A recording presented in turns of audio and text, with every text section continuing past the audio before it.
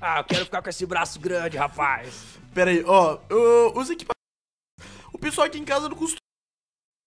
Nem treina mais. É, eu fiquei mó feliz que você aceitou o convite de ficar aqui, passar esse dia aqui na casa do YouTube.